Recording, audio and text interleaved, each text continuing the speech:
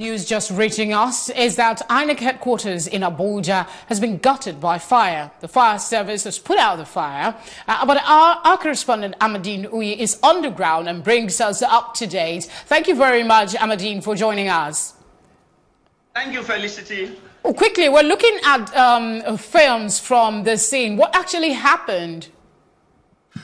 Okay, we just got information that the INEC facility was on fire, so we had to uh, rush to the scene. And I'm at the scene, and we discovered that is is one of the adjoining buildings to the main INEC headquarters. If you see, I'm going to just uh, push the Skype so you see videos around. You see that the Federal Fire Service have done a pretty good job in trying to put out the fire. If not for their quick intervention, I don't know what will become of this uh, structure. You can see the roof, you can see office uh, equipment, uh, you can see uh, several uh, files which are on the floor, uh, which have been burnt by the fire. But the, the, the FCT Fire Service was able to put out the fire. Uh, before now, there was so much crowd here. If you turn around to this way, look there, you see smoke still coming from some of the furniture. But like I said, we have to give kudos to the FCT Fire Service because it's uh, from what we see on ground, it was no small fire. Yes, certainly. From what we are seeing that you're showing to us, the fire does look extensive. Do you have an idea, the estimate of the um, equipment and facilities and furnitures that was damaged?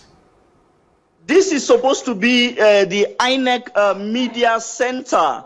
Uh, this is supposed to be the INEC Media Center. If you look from the video, I think almost the, uh, this wing of the entire building was gutted by fire. We can see burnt air conditioning units. We can see burnt furniture. But for now, I think the, those who were working to contain the fire just left here not more than one or two minutes, uh, just left here not more than one or two minutes ago. And so for now, we cannot ascertain. If you see this crew from the uh, fire service, they are trying to take stock of the equipment that was destroyed. So for now, but we will bring you, uh, we'll bring more information as we get uh, details of exactly what was lost during this fire. All right, Amadine, um, thank you very much. But, but before I let you go, um, is there any idea the effect this might likely have on the work that INEC is doing? Are there sensitive documents in that place that you are aware of? From, from what I'm seeing, I'm seeing a lot of files on the ground. Like I said, this is the Commission's media center.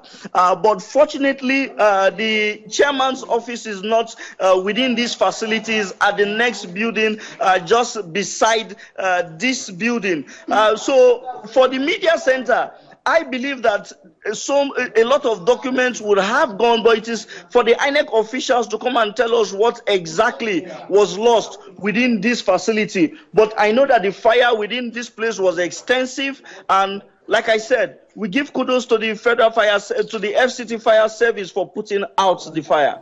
Amadine, thank you very much for bringing us up to speed. Stay safe, and we will come back to you in subsequent bulletins. Thank you, Felicity.